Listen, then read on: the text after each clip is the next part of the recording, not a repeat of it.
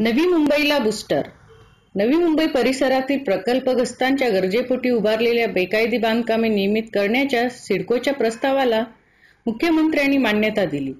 या योजनेत अंतर्गत मूळ गावठाण व गावठाणापासून दोनशे मीटर परिसरातील बांधकामाचा समूह विकास क्लस्टर डेव्हलपमेंट करण्याचा निर्णय घेण्यात आला आहे.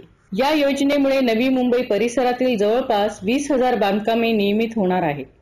यापैकी नवी मुंबई महापालिका कार्यक्षेत्रातील अठ्ठेचाळीस हजार व सिडको क्षेत्रातील सहा हजार गरजेपोटी बांधकामे आहेत. ही बांधकामे कल्स्टर माध्यमातून नियमित करावीत अशा आशयाचा प्रस्ताव सिडकोच्या वतीने शासनाकडे सादर केला होता. अखेर आज मुख्यमंत्र्यांनी विधानसभेत या प्रस्तावाला मंजुरीची घोषणा केली. News by news one two nine.